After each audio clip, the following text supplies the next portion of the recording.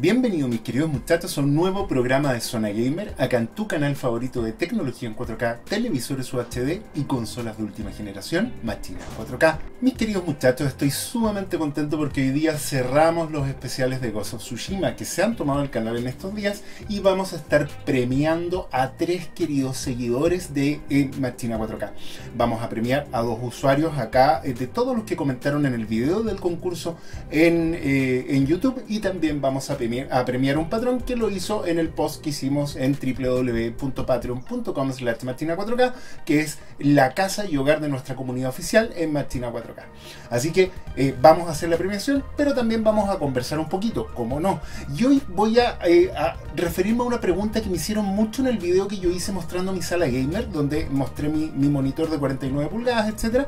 Y muchos me preguntaron, Martina, un monitor así para PlayStation 5 y Xbox Series X ¿Te tinca? ¿Te parece? Para PlayStation 5 me preparo con un gran ultra monitor. ¿Convendrá más un monitor que un televisor para PlayStation 5? Fueron muchas las personas que preguntaron eso, entonces hoy día nos vamos a referir a eso.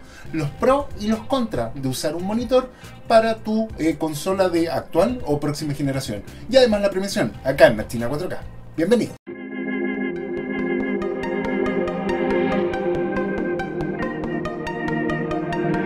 Bueno, mis queridos muchachos, para ir al tema inmediatamente en cuestión, la verdad que ocupar un monitor para una consola de videojuegos tiene muchos pros y contras. Eh, un gran pro es que, por supuesto, tienes de repente paneles tremendamente em, efectivos a la hora de arrojar colores con, eh, qué sé yo, los bits exactos, eh, RGB exacto. Tienes un muy bajo input lag, puedes encontrar monitores que tienen un milisegundo de input lag. Y también puedes jugar con mucha mayor em, frecuencia de respuesta, es decir, puedes, por ejemplo, tener un monitor 1080p o, 1440p, pero que tenga 120 Hz, etc. Si tú haces eso a través de HDMI, muchas consolas te permiten que tú puedas jugar, jugar a 4K, 60 Hz o 1080p y 120 Hz. En ese sentido, en teoría te podría servir el monitor, podrías exprimir más los Hz, pero así también lo podría hacer un televisor grande. Hay televisores que permiten eso y que tampoco vas a tener ningún problema. De hecho, en el mismo Sony nosotros estuvimos probando eh, el modo de 1080-120 y la verdad que andaba bastante bien. Pero, pero es distinto la sensación es distinta. Y otro punto muy importante que es bien distinto, el tamaño. Y es acá donde en precio-calidad los televisores se pueden presentar como una mejor opción. Porque si tú no vas a ocupar, eh, por ejemplo, cuando vas a ocupar un computador, se entiende que no solo vas a jugar, sino que también vas a estar trabajando en gráfica o a lo, a lo mejor vas a estar trabajando, vas a ocupar para ver video, por un montón de cosas. Entonces tienen ciertas prestaciones que a lo mejor si tú solo vas a ocupar para jugar, no vas a necesitar. Y en ese sentido puedes abaratar mucho el costo si optas por un televisor 4K, por ejemplo ejemplo, más de entrada, que sea 4K nativo y quizás que tenga un panel solamente de 60 Hz, porque simplemente vas a jugar a 4K y en las consolas la mayoría son a 30 y de repente a 60, pero a 30 es la mayoría. Entonces, con un televisor que tenga bajo input lag de 4K y 60, yo creo que estás bien si no, eh, si no aspiras a allá. Y hay otro punto muy importante, nos estamos volviendo muy locos con este tema de que PlayStation 5 y las próximas consolas vayan a correr 4K 120, 8K 60.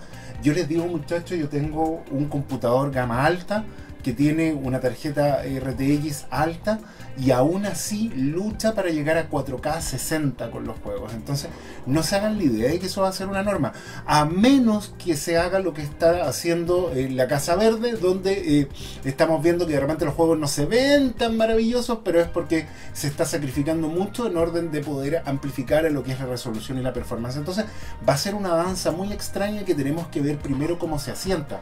Vamos a ver si efectivamente las consolas eh, van a lograr ocupar esos 4K 120, más allá de ocuparlo a lo mejor para juegos más antiguos o ocuparlo en, otro tipo de prestaciones. En los juegos que tú quieres jugar es lo importante y ahí es donde queremos ver si realmente lo ocupan. Pero si por ejemplo tú no tienes una sala grande y no requieres para poder disfrutar bien de tus juegos de a lo mejor tener, qué sé yo, un televisor de 55 pulgadas, 65 pulgadas, y tú por ejemplo eh, juegas o tu zona de juegos muy pequeñita y puedes poner perfectamente ahí un monitor de 27 pulgadas, claro que puedes encontrar encontrar ahí cosas muy interesantes en 4K, 1440, 120 Hz, 144 Hz y puedes jugar mucho más y con un costo mucho más acotado.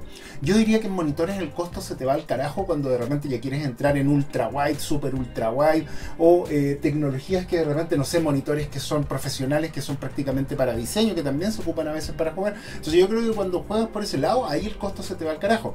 Pero si eh, tú puedes no tomar en cuenta el tamaño, en monitores también puedes encontrar a muy buen precio muy buenas opciones. Y te insisto, quizás la mayor ventaja es el bajísimo input lag. Vas a tener input lag que pueden llegar a ser a un milisegundo en pantallas VA hoy en día. Bueno, se dice que no es un milisegundo a pesar de que lo dice ahí, sino que es como dos o cuatro, pero de todas formas es bajísimo. En televisores los menores milisegundos que puedes encontrar hasta el momento son cerca de 11 a 15 milisegundos efectivos. Y eso sería, o sea, olvídate menos. Así que a tener en cuenta eso, los pros y los contras a un lado. Por un lado puedes tener una imagen mucho más fidedigna, de repente sin tanto punto azul. Los televisores, los monitores no necesitan, no, no poseen tanto punto azul, poseen un montón de cosas para cuidar más tu vista. Entonces, por todo ese lado tienen un montón de cosas positivas, pero yo diría que lo principal es la cantidad de input lag bajo que puedes tener y cómo puedes jugar con las frecuencias 120 Hz, 140 Hz, etc. Por los televisores la mayor ventaja es el valor. Puedes tener televisores 4K de entrada muy baratos a precios muy interesantes, a tamaños muy interesantes y el tamaño. Puedes tener un tamaño mucho más grande.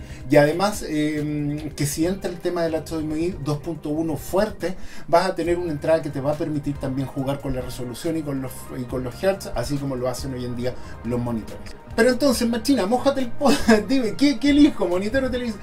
Wow, lo veo bastante difícil. La verdad que los dos tienen sus pros y contras. Yo creo que va a depender de ti. En mi caso, por ejemplo, a mí, mi PlayStation 4 Pro me gusta jugarla en un televisor grande, ampliar, bonito.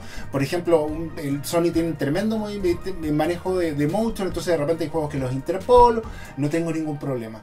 Pero si quiero jugar algo ya, eh, qué sé yo, eh, por ejemplo, el computador, para mí, eh, la verdad que la diferencia de pasar de televisor a monitor fue el cielo a la tierra. Y eh, como, pero yo lo ocupo mucho para trabajar también. Entonces va a depender mucho de ti. Yo diría que monitor solo en el caso si, si ya puedes hacer el gasto en algo tipo ultra wide, una cuestión así, son muy entretenidos. Pero si no, un buen televisor no vas a tener ningún problema. Yo creo que con un, con, si lo vas a ocupar para jugar en las próximas consolas, no vas a tener ningún problema. A menos que seas alguien competitivo que, no sé, yo quiero ser el jugador número uno de Latinoamérica de Fortnite.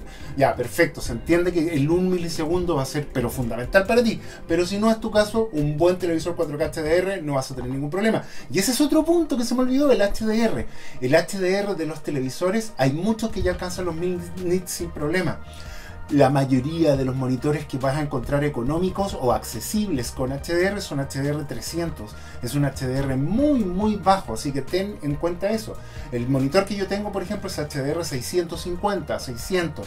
No llega a los 1000 todavía y así todo me salió los dos ojos de la cara. Entonces, por eso te digo, ten muy en cuenta. El otro sacrificio que se me había olvidado hablar es el HDR. Entonces, yo diría que si vas simplemente a jugar, no te calientes la cabeza y vayas por un buen televisor. Pero si vas a ser competitivo y para ti lo, lo, el input es fundamental, entonces el monitor sin duda te va a entregar la solución. Pero vamos al concurso, sin duda algo que yo creo que todos están esperando acá, que me dijeron, Machina, participamos en el concurso, ¿qué pasó? Bueno, de fondo yo creo que han estado viendo cómo yo he hecho esta, esta suerte de tomar todos los comentarios muchachos no saben lo que me jode cuando hay gente que comenta tres veces porque después yo pego todos los nombres porque yo hago los concursos en sorteados que es esta página web que me permite realizar el sorteo de forma súper súper objetiva. Entonces me gusta hacerlo ahí eh, pero pego todos los nombres y no me deja hacer el concurso si, si encuentra el nombre repetido y tengo que volver a copiar la planilla. Entonces ojo con eso muchachos. Eh, lo que están viendo arriba es como yo fui trasladando de un lado para otro tanto como de Patreon etcétera pero yo creo que ya llegó la hora que vayamos viendo quiénes fueron los ganadores de todo esto y quienes son en el fondo los que se van a llevar acá la, la, gran epopeya Samurai de Ghost of Tsushima para PlayStation 4 que la verdad que está tremendo. Y te invito a ver el especial de Samurai. Si te gusta Ghost of Tsushima y descubriste que te gustaban los Samurai, tenemos un tremendo especial en el canal que lo subimos el lunes que muy poquita gente lo está viendo. Y yo encuentro que el tema con Cine Machine en nuestro canal es como, como cuando le preguntan a la gente en la calle qué es lo que quiere ver en la televisión y dicen cultura, cultura, cultura. Entonces tiran un programa de cultura y no lo ve nadie. A mí me pasa lo mismo. Siento que me piden Cine Machine 4K hoy ¿cuándo vamos a hacer Cine Machina? Habla de cine, habla de cine. Saco el programa de cine y no lo ve nadie. Entonces yo no sé si realmente lo sigue haciendo. Creo que el tema de los televisores voy a seguir dándole mucho más fuerte y puede que los lunes empiece a cubrir televisores aparte de los miércoles. Entonces me encantaría que me dijeran también, ¿qué prefieren? ¿Que el lunes haga Cine Machina y cine, pero lo ven, pues muchachos? Eh, ¿Y el miércoles solo televisores? ¿O que haga lunes y miércoles televisores? Yo creo que el lunes y miércoles me estaría yendo por los televisores porque es demasiada la diferencia eh, de vistas que tiene cuando hago un video de televisores y cuando hago un video de Cine Machina, que a pesar de que amo hacerlo, la verdad que las vistas son muy, muy bajas. Ya muchachos, pero vámonos al concurso entonces y vamos a ver los ganadores. Como ven, ahí fue pegando sorteados están los nombres de todos los muchachos, tiré el premio y me salió que hay un montón que están con el nombre repetido, entonces tuve que volver a hacer, tuve que empezar a volver a verla, revisar la lista, ver qué nombre, dónde estaba su cuchito, dónde estaba este otro, etc. Y em, finalmente pude hacer el sorteo y acá estamos ya en el momento en que pudimos reemplazar ese tipo de nombres, que pudimos hacerlo. Y los, los ganadores entonces de Ghost of Tsushima son los queridos suscriptores del canal Marcos Israel y Santiago Westberg. Marcos, Israel y Santiago Westberg, les mando un abrazo gigantesco.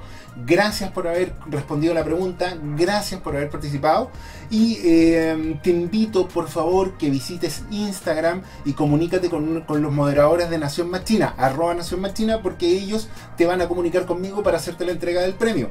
Así que recuerda, en Instagram, arroba Nación Machina, comunícate Marcos Israel y Santiago Westberg con los moderadores de allá y te van a comunicar conmigo para poder enviarte a través de correo el código y que lo puedas descargar desde el país que seas. Así que felicitaciones Marcos, felicitaciones Santiago, son los primeros ganadores de Ghost of Tsushima. Pero ahí no queda todo porque ahora vamos a ver La Nación Machina, donde también hay varios que se anotan dos veces, por lo tanto Cachamal por supuesto también repartido para allá, pero vamos a ver qué tal anduvieron los muchachos y qué tal anda la suerte también por allá. Bueno, ya estamos pegando acá todos los nombres, tenemos todos los muchachos que participaron, Felipe, Kiel, Dorugo, Hans, Álvaro, un abrazo para todos. Y vamos a ver quién es el ganador del juego Ghost of Tsushima en PlayStation 4. Eh, Entonces, sorteamos y el ganador es... No me lo puedo creer. El tremendo Hans Lira, el patrón con más mala suerte de toda la nación machina. Por fin, por fin parece que le derrotamos la mala suerte y se acaba de ganar Ghost of Tsushima. Felicitaciones Hans Lira, la verdad que eres un patrón de toda la vida. Eres muy, muy, muy conocido por nosotros.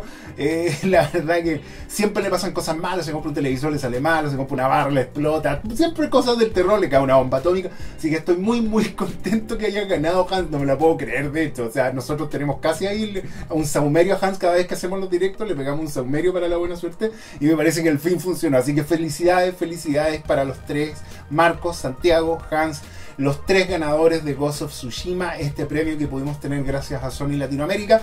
Y muchachos, muchachos, se terminó entonces, está hecho el concurso, están entregados los premios, pero eso no es todo. Porque oficialmente a contar de este mes vamos a hacer un concurso también para nuestro canal de YouTube, que puede que sea juego, puede que sea película, pero va a ser siempre de forma digital, cosa de que podamos enviarlo a México, Argentina, España, Bolivia, Colombia, que es donde la nación machina no tiene fronteras, somos una unión latinoamericana, no somos un solo país, así que con eso yo quedo súper feliz. Ya les contaré pronto qué premio va a haber este mes, más sobre eso, pero de momento nuevamente le reitero las felicidades a Marco, a Hans y, eh, ay, se me olvidó el nombre de los, pero de los tres ganadores del día de hoy. Les mando un abrazo gigante, gracias por suscribirte al canal, gracias por haber participado y te recuerdo por favor que si te quieres sumar a la Nación Machina, conocer a Hans ahí y todo y de nuestra rica comunidad, nuestro Discord, nuestros discos demo, nuestra tienda machina vendimos, se fue el, el GC9, se lo llevó un patrón, o sea, todas esas oportunidades, ahora estamos tirando la Xbox eh, de Cyberpunk a través de Patreon también, etcétera, www.patreon.com slash 4K. Créeme, no te vas a arrepentir, lo vas a pasar muy bien y vas a tener ayuda por cualquier cosa. Un abrazo gigante, que estés muy bien. Chao, chao.